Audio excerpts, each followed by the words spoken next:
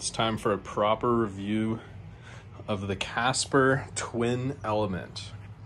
Likely, I think the cheapest mattress they make. Um, they may make a even cheaper one on their secret page.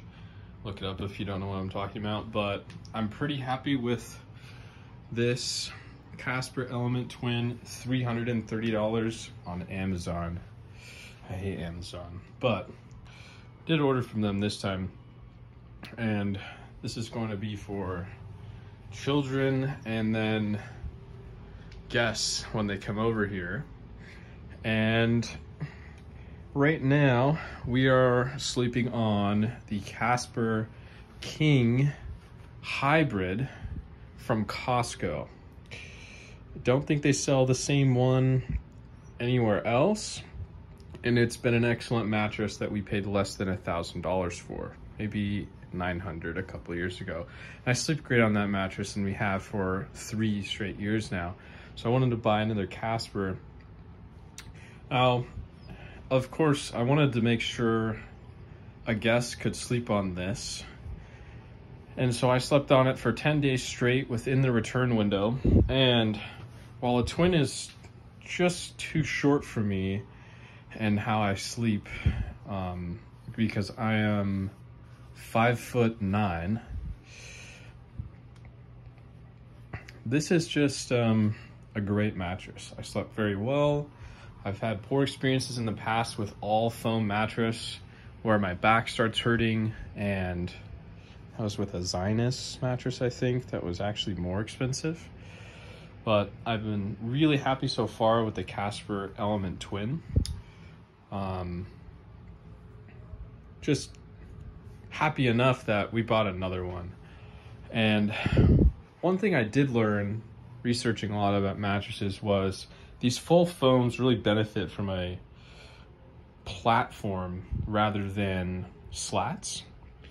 Uh, you lose some breathability from the slats, but with this cheapo bunk bed that we got on Facebook Marketplace, there are actually not enough slats to support this mattress. You can see they're about a foot apart here. And so what I really needed was a full platform. And the best way to do that is just to go to Ace or something and buy some half to three quarter inch plywood. This is three quarter inch and it supports me just fine. And it makes for a, a firmer mattress, which this is defined as firm on their scale. I don't think they've got it labeled anywhere per se, but it is definitely slightly firmer than the King Hybrid that we got from Costco, which is resting on slats. So that may attribute to some of it, uh, maybe the different bed frame. Um, that to say, I don't prefer a firmer or softer bed than what I'm sleeping on the hybrid mattress, which I love.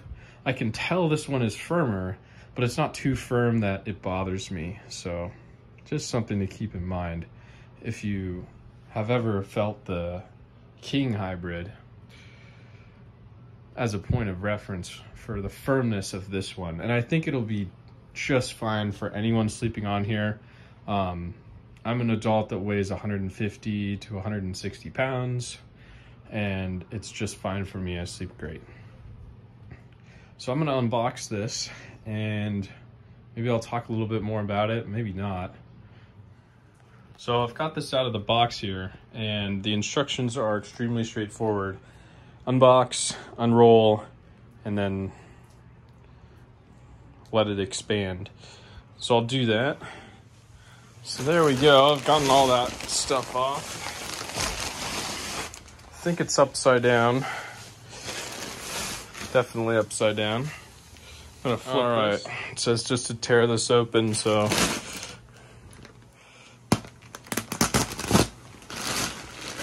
Man, that was vacuum sealed.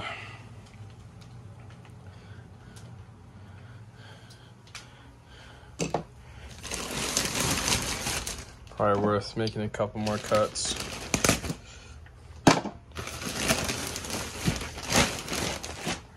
So, uh, there it is. It expanded extremely quickly. I don't hear any more air. Um, one nice thing about this is you're able to sleep on it immediately. I slept on that one immediately. It hasn't expanded anymore after the first day. Um, it's over 10 inches thick, which I believe this was advertised at 10 inches, so it's it's beat its advertisement. And yeah, pretty great.